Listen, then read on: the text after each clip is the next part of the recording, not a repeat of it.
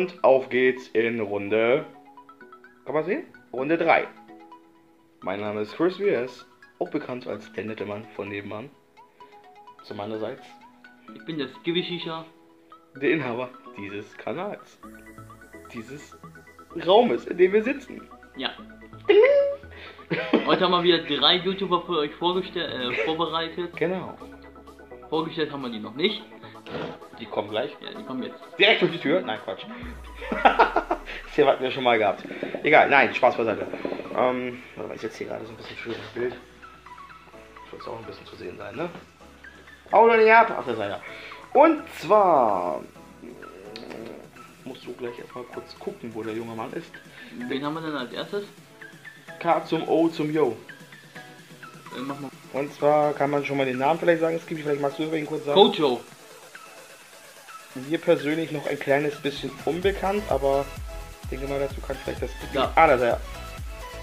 Dazu kann das Skippy vielleicht noch so ein bisschen was erzählen. Wir auf die Übersicht. So. Ja. Ähm, Nicht erschrecken, Freunde. Geht das so? Ja, machen wir weiter. Perfekt. Ähm, dann fangen wir auch direkt an. Kojo, der macht eigentlich sowas ähnliches wie, ähm, äh, wenn ihr Top 10 oder Top 10 kennt. Ja, so eine Top 10 Videos oder auch Lifehacks und alles mögliche.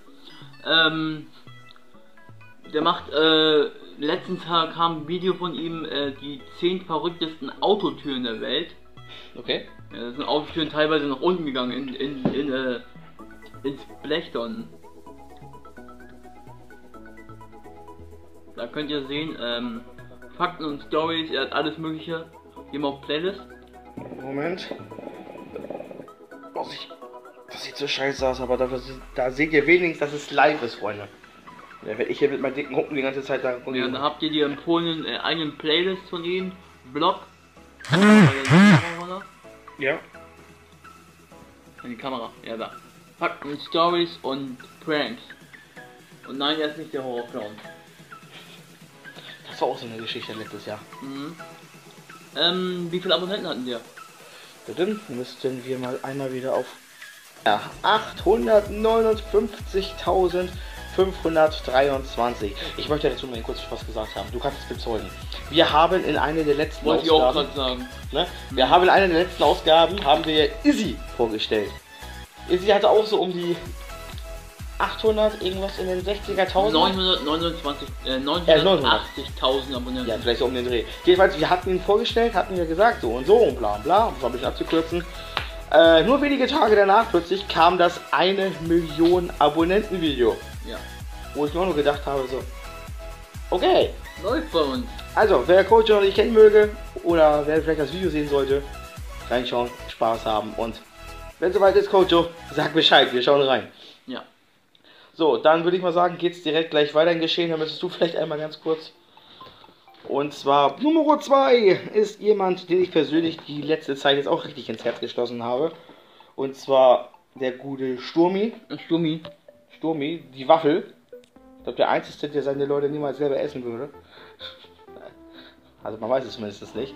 Und zwar der Sturmwaffel. 1.082.226 Abonnenten. Ja. Er hat vor, ähm, vor Izzy die eine Million Knacke, äh, ah, Knacke gemacht. Knack. Er hat die eine Million Marke geknackt. Und äh, das hat er auch in so einem Video festgehalten. Mhm. Ja. Äh, ihr seht ja vielleicht so ein bisschen hier unter Upload oder so. Ich versuche mal ohne die ganze Zeit meinen Hund. Mach auf Playlist. Oder geh auf Videos. Das sieht so scheiße aus, Alter. Ich. Musst du machen, Digga, ey. Ich mag nicht die ganze Zeit meine Kamera. Also meine Kamera. Ich mag nicht die ganze Zeit mein, gleich mein Finger auf die Kamera. Guck mal, ich filme dich. Egal. So, ihr seht auf jeden Fall hier so einige von den Dingern, ne?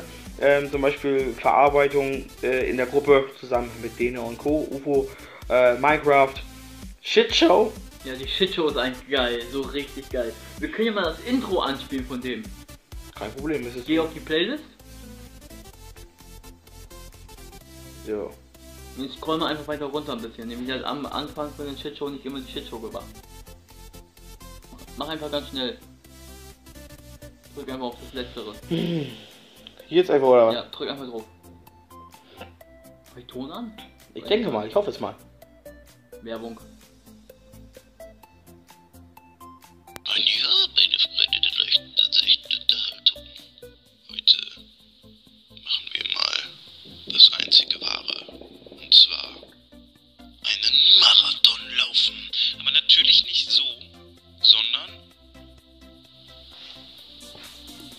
sondern wie ein wahrer Marathonläufer. Seid ihr bereit?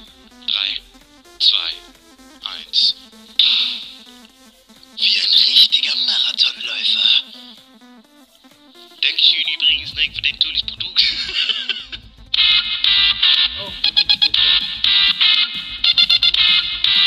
So, dann kannst du ja schon losgehen. Sehr gut. Ähm, vielleicht so ganz nebenbei, in seinen aktuellsten Videos testet er ja auch sehr viele ähm, Games. Games. Ich wollte Er also, spielt Spiele, die kannte ich vorher noch gar nicht. ich wollte hauptsächlich Abschleppen. zum Beispiel, ja, ich wollte auch tatsächlich auf die Simulatoren ähm, Ja. eingehen. Ihr wisst ja, Gronk simuliert, also die Spieler meine ich jetzt, Paluten simuliert und auch Sturmwaffel, Ja. Fernboss, äh, Polizeisimulator. Der macht alles mögliche am Simulator. Und ähm, da finde ich es auch mal ganz witzig. Besonders in seinen äh, GTA-Videos, die ich mir auch vor kurzer Zeit nochmal nach angeschaut habe. Mal so in leichter Sprache. Mhm. Und da ist mir eine Kleinigkeit aufgefallen. Und zwar, ihr erinnert euch vielleicht aus den etwas älteren LPT-Videos, ne, mit Gong, Sarasa und Co. Äh, dass es ja immer diese ja, Probleme gab mit Ameisen 23 und Gronk. Er konnte ihn einfach nie kriegen und wurde immer von dem platt gemacht bei GTA. Äh, so einen ähnlichen Übeltäter, nenne ich es mal, hatte der gute Sturmwaffel auch in seinen Games. Letztens habe ich gesehen, wollte er eine richtig geile Yacht vorstellen und die war wirklich 10 nicht ohne. Millionen Dollar Yacht. Genau, die 10 Millionen Dollar Yacht. Und äh, wie hieß der? Duck oder Ducken? Duck. Duck. Irgendwie so ein komischer oder ähnlicher Name auf jeden Fall. Und bei dir war das immer das gleiche gewesen. Egal, was Sturmwaffel machen konnte. Immer wieder Bams, tschüss, raus. Ja, und bei Duck müsst ihr mal immer abknallen, wenn ihr den seht bei GTA Online. Wie das ist ähm, Marvin, ähm, kurz gesagt mal Bosser von den Lusors. Sollte euch ein Begriff sein. Ja, den stellen wir auch irgendwann vor. Wenn nicht, dann wird das nächste Woche nachgeholt. Wenn ihr sagt, ihr kennt die Losers nicht, dann Zitat von uns beide, weiß Bescheid. Äh, schreibt mal unten in die Kommentare, ob ihr die Lusors kennt. Und jetzt nicht eben schnell nachgucken und sondern ne? Hm, kenn ich die? Guck mal! Nein. Gut, ähm, sonst irgendwie was, was wir vergessen haben? Ähm, der spielt Minecraft. Ist auch bei Novus dabei gewesen, aber leider nur hat er drei oder vier Folgen hochgeladen, dann hat er keinen Bock mehr gehabt. Das kommt vor. Ja, weil das Spiel so gelaggt hat, bevor Dina die Arena weggesprengt hat. By the way, wann machst du wieder Minecraft? Muss gucken. Wenn du Zeit hast. Ja. Okay. Ansonsten, äh, alles weitere findet ihr direkt hier auf seinem Channel. Also lernt den guten Sturm hier einfach mal kennen. Schickt doch mal zur Freude der guten Unterhaltung ihm ja vielleicht ein Paketchen Waffeln rüber. Würde er sich bestimmt drüber freuen. Ja, Fanpost macht er auch. Die Waffelpost. Ja. Da hat er schon teilweise skurrile Dinge bekommen. Ähm, ein Auge. So ein falsches Auge. Ja, ja, ich meine nur alleine die Idee. Eine, ähm, eine Haut von einer ähm, Heuschrecke. Ja, und ähm, Handys. Er bekommt Handys zugeschickt, damit er unterschreibt und teilweise warten Leute auf ihre Handys drei bis vier Monate. Ja, weil die Fanpost nicht, äh, Ja. wie heißt das gleichzeitig? Warum kauft man sich nicht einfach eine Handyhülle und schickt die dahin? Stimmt. Wie wollen die dann weitermachen mit dem Telefon? Ganz ehrlich jetzt, also überleg mal, du würdest jetzt oder ich würde jetzt mein Handy dahin schicken. Du hast keine Möglichkeit zum Telefonieren. Schickst dein Handy. Gut, du hast zwei. Ja, aber ich meine jetzt nur ein normaler Mensch, der nur ein Handy besitzt. Schickt mal eben sein Handy dahin, ne? Unterschreib mir das. Ja, aber er macht das mittlerweile nicht mehr, weil er, ähm, ne? Genauso wie hochwertige Dinge. Playstation hat auch schon mal jemanden geschickt. Ähm, Laptop, Auch zum Unterschreiben. kompletten Fernseher da jemand hingeschickt. Zum Unterschreiben. Ja. Das war so ein, so ein 80 Zoll Fernseher. Läuft bei Die ihm. Dinger sind schon scheiße groß, die sind ungefähr. Du hast ja schon einen etwas größeren Fernseher, ne? Ja, du kennst geht den so. Fernseher von meiner Mutter, ne? Ja. Ja. Das ist die vierfache Version, so ein 80 Zoll Ding. Ja, das war so die Übergang von der Röhre. Ja. Oder nach der Röhre. Egal, jedenfalls, das war's mit dem Sturmi. Also, der macht noch weiter, aber wir haben ihn soweit durch. Alles weitere da oben. Äh, ja, du müsstest doch einmal, denn wir kommen zum Main Event. Und zwar, ja, Ah, Sache, Sache, ne? das ist das geht wie genau zu Walle. Also, wer ihn kennt, weiß, wen ich meine mit Walle. Letzte Woche, ja, letzte Woche war es der gute Gronk. Und jetzt kommen wir zu Sarazar. Denn wir hatten ja letzte Woche so ein bisschen von Gronk hier erzählt und dann spätestens bei dem Thema äh, Super Homies, da hieß es dann ja gleich von Skippy so, ah, warte, warte, warte, nicht so viel, nicht so viel. Und ich glaube, da konntet ihr euch vielleicht schon denken, so, hm, wenn er hier so ein bisschen abbricht, dann muss der Sarazar ja auch bald dran sein. Und tada! 1.969.428 Abonnenten. Auch kurz vor der 2 Millionen. Ja. Also, easy, guckst du zu. Wir machen gerade Werbung. Der kriegt gleich die 2 Millionen. Mal gucken. Äh, ja, also ich kenne ihn auf jeden Fall noch aus den guten alten Let's Play-Zeiten, also Let's Play Together-Zeiten mit äh, Gronk, Herr Currywurst, Pandoria, ähm, Turbinator, ähm, LP? Ne, der war woanders mit bei. Oder war der auch da? Nein. Ja, LP mit Kev? Ja. Nee, der war nicht dabei. Nee, Aber Turbinator war dabei gewesen. Ähm, ich sagte ja gerade, hier Rumpel, Ja. ne, Herr Currywurst sagte ich ja gerade schon und äh, sämtliche andere. Dann natürlich lässt es sich Sarazar auch nicht nehmen, genauso wie Gronk neben seinen ganzen Games bei Minecraft. Äh, GTA natürlich damals auch gewesen, bis heute gelegentlich auch nochmal sämtliche andere ähm, ja, Werke. Kann man alles nicht so aufzählen, muss man gesehen haben.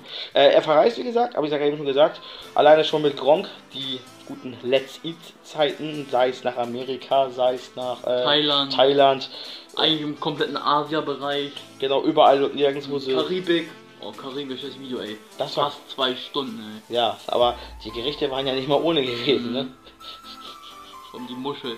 Ja. Oder Also- was am Ende kam, diese Schließschoten. Ja. Boah, Alter. Also da, da hat man ja so ein bisschen, ich nenne es mal ganz vorsichtig, da hat man so ein bisschen mitgelitten mit den beiden. Mhm. Vor allem haben Ring gebissen, ne? Gronk hat die ganze Scheiße weggehauen, ne? Und dann haben sie erstmal gelacht. Was willst du denn machen, wenn es dir auf die Zunge brennt? Da kannst du auch nur lachen. Brot essen. Oder? Ja gut, oder ein Brot essen. Oder Milchsau. So, ich komme jetzt mal wieder mit meinen dicken Humpen. Kleines war das, ne? Mhm. Denn wir wollen mal kurz einen kleinen Einblick kriegen. Und tada! Let's Play! The Forest hat. Oh ja, genau, Forest. Und Das zockt ja gelegentlich, meine ich auch immer Ja. noch mit Gronk. Also ich sehe das ja gelegentlich meistens auf den zumindest Twitch-Seiten oder auf anderen Game-Angeboten. Äh, The Walking Dead. Ich wusste gar nicht, dass es davon ein Spiel gibt. Da gibt es mehrere Spiele von. Gut, liegt vielleicht daran, weil ich mich mit The Walking Dead eher weniger, sage ich jetzt mal, beschäftige. Aber okay. Ähm, ich versuche mal, soweit mir möglich ist, ein bisschen weiter hochzuziehen. Animatronics sehe ich gerade, dann so ein Singleplayer. Call of Duty, ah, die guten alten Call of Duty äh, Games, ja natürlich. Ähm, was haben wir denn noch da? No Man's Sky, kenne ich nur vom Namen, habe ich persönlich noch gar nicht gespielt. Aber man kann ja immer noch alles nachholen, nicht? Battlefield spielt auch. Ja, Battle habe ich gerade schon gesagt, die guten Du alten. hast Call of Duty gesagt. Okay, aber Battlefield ist ja quasi fast Ja, so so ähnlich. quasi. Ne? Dann da GTA. Also, wie gesagt, ge- eigentlich quasi genauso wie Gronk. Und das Schöne ist ja, bei den beiden ist das ja so ähnlich wie, ich sag jetzt mal, wie mit dir oder sämtliche Kollegen, die ich noch länger kenne. Also, die kennen sich ja schon. Das war kennen die seit Schulzeiten? Oder? Ja. Also, die beiden sind wirklich näher zu einer Seele, der gute Erich und der Walle. Und äh, geht's hier noch ein bisschen weiter? Das interessiert mich selber jetzt gerade so ein bisschen. Ja. Assassin's Creed hat auch gezockt. Ja. Black Ops 3, also Call of Duty, geil. Siehst du, da sind sogar die Games, die habe ich doch glatt in der Eile übersehen. Tomb Raider. Wobei ich sagen muss, oder ich würde ganz gerne ihn kurz angemerkt haben, weil ich gerade da Tomb Raider sehe. Die etwas älteren Versionen der Lara Croft haben mir persönlich ein bisschen, ein bisschen gefallen. Ja, Freunde der PlayStation 1 bzw. PlayStation 2, ihr werdet mir vielleicht recht geben. Vielleicht aber auch nicht, ich weiß es nicht. Weißt du, was ich noch im Keller hab? Nee. Eine Sega. Oh, geil, habe ich früher mal Sonic drauf gezockt. Ich auch. Das waren Zeiten gewesen. So, jedenfalls das zum Thema, ähm, dadadam, zum Thema Sarazar. Ich hoffe, ich komme hier einmal wieder zurück irgendwie. Da ist die Übersicht. Perfekt. Ähm, setzt sich auch für viele Projekte ein. Zwar mehr zusammen mit seinen Lloyds hier ähm, im Hintergrund, Mhm. aber ansonsten eigentlich auch ein Typ, mit dem man Pferde stehen kann. Wörtlich gesehen. Und mir fällt gerade was ein, auch wenn wir gerade bei Sarazar sind, aber ich habe eine ganz wichtige Sache gerade. Also, Und zwar letzte Woche bei Gronk. Ja, wir- ich vermische das jetzt mal mit den Super Homies, ja. Äh, Und zwar, ich finde das ja richtig geil, das Projekt vom letzten Jahr. Ne, Sarata war zwar leider nicht dabei gewesen, aber dieses Riesenprojekt Friendly Fire, mhm. diese 100.000 Euro Geschichte. Ne, weißt du, so schräg aus dem Kopf, wenn noch alles mit dabei war? Boah, ich weiß nicht, ich hab das ein, ich hab nur einmal geguckt. Aber ihr habt es bestimmt mitbekommen. Jedenfalls auch eine richtig tolle Sache, ne? diese Einnahmen, die da kamen und dann später gespendet wurden oder sogar aufgeteilt wurden. Ähm, wie gesagt, in solchen ähnlichen Dingen ist Sarazar auch mit verwickelt. Ja. Zwar nicht bei Friendly Fire. Sarata ist auch auf Twitch zu finden. Richtig. Und ähm, ich. Gronk hat ja schon hohe Donations bekommen, ne? Oh, jo, jo, jo. 15.000 war es einmal. Ja. Sarata kann das übertoppen. Ernst? Mhm. Der hat eine Donation von 50.000 Euro bekommen. Okay. das Interessante ist ja, oder es ist leider die Wahrheit, es gibt ja viele Spiele, die Gronk gut kann. Ja, Minecraft. Ne? Richtig gut kann. Minecraft. Es gibt aber auch Games, da ist er zwar gut drin, aber Walle ist besser. GTA. Ja, ich erinnere mich an eine einzige Aufgabe, und ich versuche es wirklich kurz zu halten, es ging da um eine Aufgabe mit dem Fliegen, mit dem Flugzeug. Und Gronk hat sich entweder hingepackt oder hat die Zeit nicht richtig eingehalten. Walle, also Salazar, hat beim ersten Versuch hat er direkt geschafft, was er zu absolvieren hat. Und Gronk im Hintergrund, boah, ich hasse dich. Alter, ich hasse dich. Ja, oder wie ähm, äh, zu den Zeiten, wo sie GTA Story Mode gespielt haben, da äh, hat ja Sarazar mitten in der Aufnahme einen Anruf bekommen. Ja. Er ist Onkel geworden. Richtig, In ja. der Aufnahme. Aber daran siehst du wenigstens, die sind sich für nichts zu schade, bis mal aufnehmen. So, oh, es klingelt, warte mal kurz, ne? Dann, hey! Ja. So, auch hier möchte ich mal ein kurzes Schlusswort rangehauen haben. Eigentlich kennt jeder zweite Sarazar. Also wer Gron kennt, kennt auch ihn. Und wenn nicht, dann kennt ihr ihn jetzt. ja. Denn zeitlich gesehen würde ich mal sagen, haben wir das Wichtigste somit erzählt. Alles Wichtige oder Interessante könnt ihr euch selber rauspicken. Einfach mal raufklicken und Spaß haben. Walle, in diesem Sinne, ich freue mich, oder beziehungsweise wir freuen uns auf neue Werke. Und wenn es in deiner Einverständnis liegt, würde ich sagen, das war es mit den drei heutigen. Wenn ihr, wie heißt das, Ideen, Vorstellungen, ich finde das Wort gerade nicht, Vorschläge. Vorschläge, danke, da war es wieder. Wenn ihr Vorschläge habt, ihr wisst ja, wie ihr es machen könnt, wie ihr uns erreichen könnt. Ansonsten, bevor ich mir komplett alles voll labere, mein Name ist Chris BS. Ich bedanke mich fürs heutige dabei sein. Ja. Den, seht ihr auch da oben, da. Da. Da. Unter Katja Krasavitze. Ich lieg unten, Da müsst, oben. da müsst ihr abonnieren. Hm, Ich lieg unten, sie liegt oben. Ja. Also, ich bin euer Skibby Shisha.